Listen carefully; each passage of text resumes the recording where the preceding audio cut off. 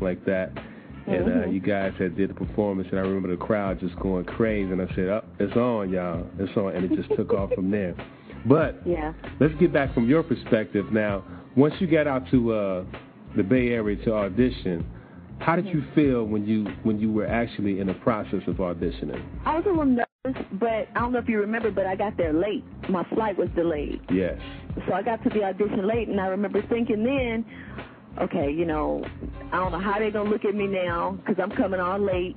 So I just, you know, I'm just to go in there and do what I do. And if it happens, it happens. If it doesn't, it doesn't. I, I really had to detach myself from the outcome, and that's what I did.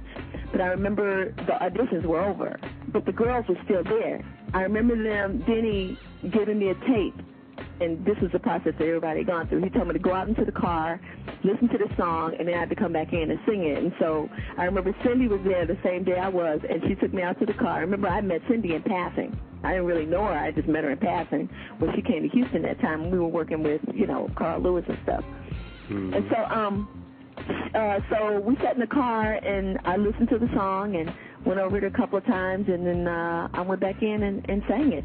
And then I remember that was pretty much it. But I remember they were looking at the chemistry that all four of us had because we all showed up ironically on the same day. And they were hmm. looking at the chemistry the four of us had together and and the blend. Um, because part of the audition was I sang lead. All of us sang, had a chance to sing lead on that song, and then we all sang background together. So they were listening to us singing lead, and they were listening to the blend that we had, and they hmm. were just blown away by both. And so I remember when I left and went back to school, it was homecoming week. It was like maybe, might have been like maybe a week later, and I remember um Denny and Maxine calling, and they were like, you know, told me I made the audition, and they were like, well, you know, people are used to three girls in a group, but why can't we just have four? So I was the fourth one, pretty Wow. much, because I was the only one that lives pretty much abroad. So he liked us so much together. He was like, nah, I got, we got to have four. I want her. And do you remember the song that you auditioned on? Oh yeah, the song it's on the first CD called um, Born to Sing. The name of the song is called Waiting on You, and it's the actual audition piece, You're kidding. unedited. Is that right? Yeah. Wow. See, we're getting a lot of En Vogue history today. That's some great stuff right there. So now, once the group took off, were you ready for all the success that followed? Not mentally. I mean, like I hadn't ever imagined it being that way. For me, I was just so excited to be there. You know, to be in California, to be a part of the group, to be singing. I hadn't even fathomed anything. You know, the success that followed. I hadn't even thought about it. None of us did. In fact, we didn't catch up with it until the second record because it took off so quick. Uh, Hold On was the fastest selling single in all of Atlantic Records history. Wow. Yep, it took off really fast. So one day you were unknown, the next day you were like pretty much known. Yeah, and it was hard to handle because you know people were staring at you, and I, I wasn't used to that. I was like, oh Lord, I'm cool with all the fame. I'm I'm cool with the fortune, but the fame, oh my God. You know what? That's funny because a lot of people don't know you were kind of like shy in a way, and I can remember that uh, a lot of times when uh, we were working together, everything was buttoned up to the top and everything was all just covered Oh, from head to toe. I was like, wow. Then to That see you in these outfits, it was kind of crazy. Yeah, it was it was crazy for me, and and the, you know the the my nickname in the group is the Nun. That's a good one. That's so a good one. it was it was always an issue when it came to wardrobe for me. I was like, I ain't wearing that. I feel naked. that is so funny. It was it was trippy. It was real trippy for me just to even show my legs because I didn't like wearing dresses. I wouldn't, you know. I mean, I did if I had to, but that wasn't me. I was blue jeans and cowboy boots. Wow. So, but eventually you got used to that, huh? Yeah, I got used to it. Wow. That's great stuff. We're going to take a quick break right now and get back with Terry Ellis after these messages. The Mark Allen, the Mark Allen Felton Show. The Mark Allen Felton Show. Mark Allen Felton. I do it for love. Mark Allen, Felton. The ultimate love CD. Includes the hit singles Love Me, I'm All Yours, Love Jones, Love Collins, and Do It. Now available at markallenfelton.com. Get your copy today. Hey, everybody, this is Tico Wells, choir boy from the Five Heartbeats, and you're listening to the Mark Allen Felton Show.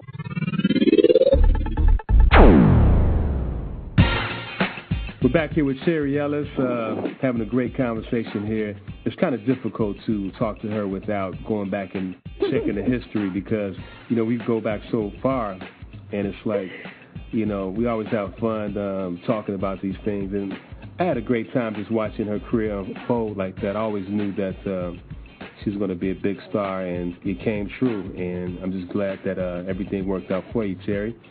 Thank uh, you. Nowadays, things change quite a bit. We have an emergence of so many girl groups. Mm-hmm. Has any of those girl groups ever like contacted you, or you seen in passing, or the group in passing, and just said, "Oh, I can't believe it! You guys are the ones that got us started," and that type of stuff? Uh, yeah, Destiny's Child. You know, they talked about how you know we were an inspiration to them, and most of the girl groups actually. Everybody was always really, really cool and really acknowledging, you know, to us, and, and it was really well appreciated.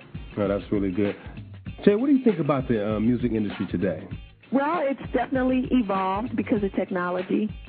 It feels fabricated. You don't really have any more record companies, and you have a lot of uh, artists who don't really understand instrumentation because of technology. Hmm. That's all good because you know we we grow and we evolve, and that's what's that's kind of what's happening, and that becomes something great as well. You know, I'm not trying to down it, but just from where I come from, it feels a little distant now. But that's just you know me growing and evolving with the times.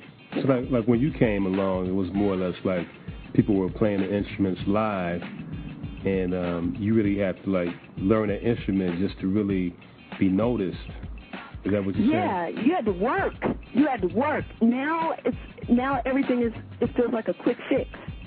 Hmm. You know, there's no bar anymore. The bar is set really, really low now. I'm not trying to take away from the talent that's out there. There's a lot of talent that's out there. I'm just saying that the bar is is low, and from where I come from, you know, the bar was set. It was high, really, really high. So we had to really work hard and really, really reach for it. I mean, we came we came from behind, you know, Aretha Franklin, Gladys Knight, Stevie Wonder, you know, all the greatest bands, Earth, Wind and Fire, and right. you know, and now that's considered old school now. So there's a different level or quality of entertainment that's happening now, especially with the television shows, the reality shows like American Idol, and you know TV shows like that. So it's it's more. um I think there's a slight distortion because you still have to work, and I think a lot of the new artists that are coming in or that are aspiring new artists that are coming in, they don't get that part of it. Hmm. They don't get that until they're almost in the midst of it.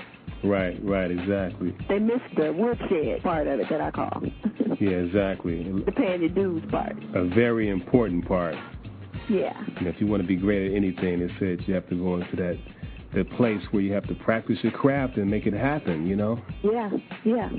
It's not just one yeah. of those things you get up and just start singing one day or say I want to sing and put some effects on your voice and all that. You have to be able to deliver. Yeah. You come from Definitely. a school of delivery, huh? That's right. That's I like right. that. I'm gonna use that. school of delivery. hey, you know what? Speaking of that, though, check it out. I'm sure the audience wants to know: um, Are there any new projects in the works? Any new CDs coming out soon? We are in the process of um, uh, talking about getting back in the studio now.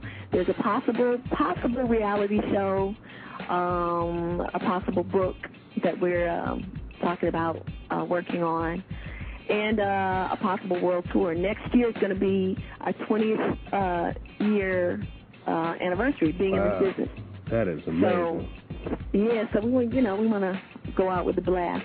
So we, we we're talking about it now. You know, that's so funny to me. I mean, I guess I guess that means a lot to different people because every time I look at you, I still see Terry, the young girl, just you know, I want to sing Right. type of girl, you know. And Right, this is right, like the 20th anniversary of you doing your thing with In What an amazing situation! Congratulations on that.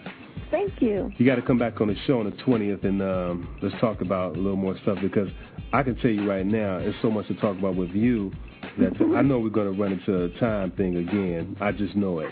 okay. Hopefully we, we won't. We'll try to get through this and, and come out with a, a great interview here.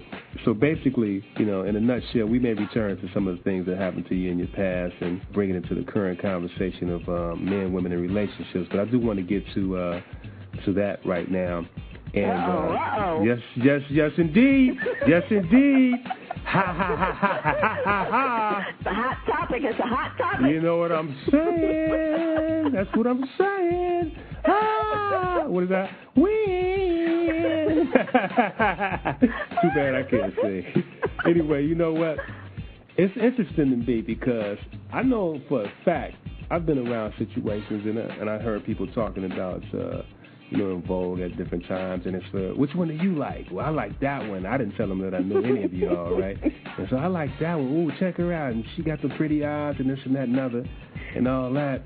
So now you out there with all these men checking you out, and of course you got your needs as a woman. You know, you want to have the perfect mate, and you know you want to know what's out there. So that brings us to the, tonight's topic, which is like, what's your wish list for the perfect mate? What's my wish list for the perfect mate? And I know that goes kind of deep. I know we got to break that down a little bit. Because that, that could be a lot of things. I mean, I like big arms, I like big legs. You know, I like a person that got a big back. I like big hands, I like big feet. we ain't said nothing about the mental, huh? I like a brother with his head on straight. Exactly. You know? I don't want to down low brother. I don't want a low down brother. I want somebody that's cool. okay? Exactly. I mean, but okay, let's let's just take it like let's just take it like from All a physical perspective. You know, like right. you know, first of all, if we kind of like pointed toward the physical aspects of the type of man that you like, what are you drawn to physically? You know what I'm I'm drawn to um well obviously the first thing you see is aesthetics. Mhm. So Now you you're gonna use a big thing. word on the aesthetic. Aesthetic. you're gonna use a real big word. Nobody nobody know what that means out. I'm just playing. I mean the physical, you know, that's that's that's your initial attraction.